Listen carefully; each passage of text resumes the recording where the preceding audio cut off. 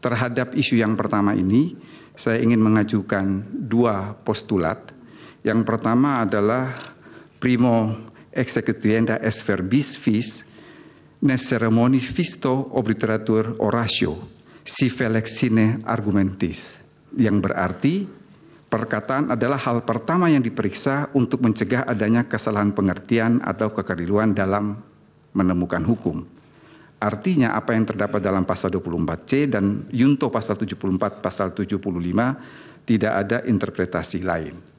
Apa yang terdapat di dalam fundamentum petendi baik oleh kuasa hukum paslon 01 maupun kuasa hukum paslon 03 sesungguhnya mempersoalkan hal-hal yang bukan menjadi kewenangan Mahkamah Konstitusi. Artinya, kalau Mahkamah Konstitusi ini diminta untuk mengadili sesuatu yang di luar kewenangannya, sesungguhnya kuasa hukum paslon 01 dan kuasa hukum paslon 03 memaksa mahkamah untuk melanggar apa yang kita sebut sebagai yuridikitas behinsel atau asas yuridikitas yang berarti bahwa mahkamah atau pengadilan tidak boleh memutus sesuatu yang berada di luar kewenangannya.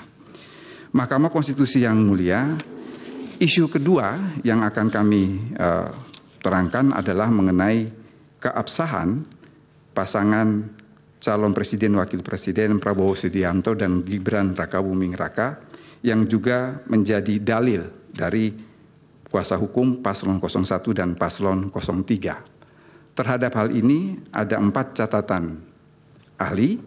Pertama, masalah keabsahan tersebut adalah sengketa proses dan bukan merupakan kewenangan MK. Seyogyanya ketika KPU mengeluarkan keputusan terkait pasangan calon, Prabowo Subianto dan Gibran Raka Buming Raka, maka pasangan calon presiden dan wakil presiden yang berkeberatan terhadap keabsahan tersebut seharusnya mengajukan gugatan ke PT UN.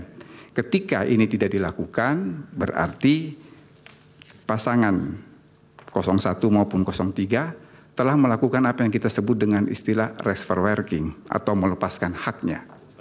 Yang kedua, secara de facto pada masa kampanye saat debat presiden dan wakil presiden, hal ini tidak pernah dipersoalkan.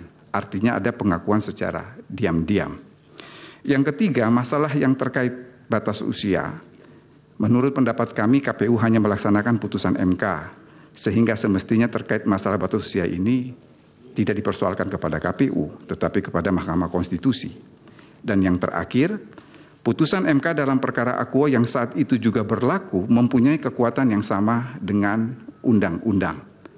Di sini tentunya berlaku asas preferensi umum, yang itu kita dapat pada semester 1 di Fakultas Hukum di mana pun di dunia ini, yaitu lex superior delogat regi inferior, bahwa peraturan yang lebih rendah tidak boleh bertentangan dengan peraturan yang lebih tinggi. Bahwa seketika pada saat suatu putusan MK itu berlaku seketika itu juga dan ada peraturan di bawahnya yang bertentangan dengan peraturan yang lebih tinggi, maka sesungguhnya sifat dari peraturan yang di bawahnya itu bukanlah vernichtbar, bukannya dapat dimintakan pembatalan tetapi dia bersifat nichte atau batal demi hukum. Dengan demikian, dalil terkait keabsahan paslon Prabowo Subianto dan Raka Buming Raka ini sebetulnya sudah close the case.